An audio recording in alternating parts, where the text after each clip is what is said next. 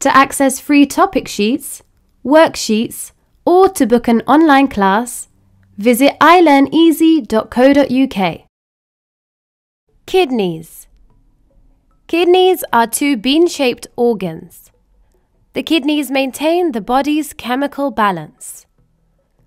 They do this by filtering the blood and excreting waste products as well as excess fluid as urine.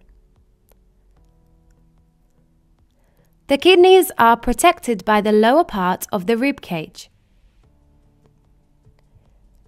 Kidneys receive unfiltered blood from the renal artery. Each kidney contains millions of tiny units called nephrons. These are used for filtration.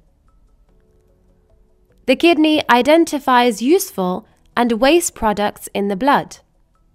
For example, if vitamins and minerals are required by the body, then the kidney will allow these to flow back to the body. The filtered blood returns back to the body via the renal vein. Any excess water and waste leaves in the form of urine.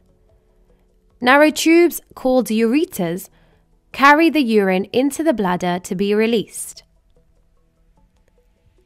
So here we have the kidneys. The narrow tubes extending from the kidneys are called ureters, and these carry urine into the bladder.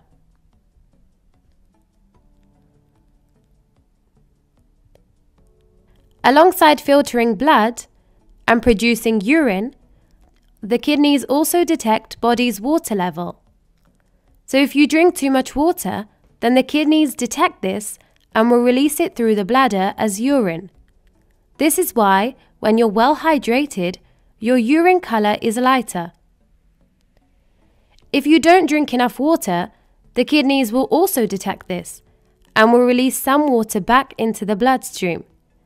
This is why, when you're dehydrated, your urine color is yellow. The kidneys also secrete hormones. For example, a hormone to increase red blood cell production or a hormone to increase blood pressure. Lastly, the kidneys activate vitamin D.